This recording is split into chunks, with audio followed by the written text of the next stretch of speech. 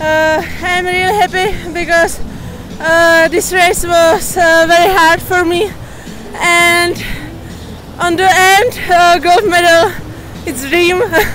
I don't really prepare. I have one training there, so I have lots of luck. I think.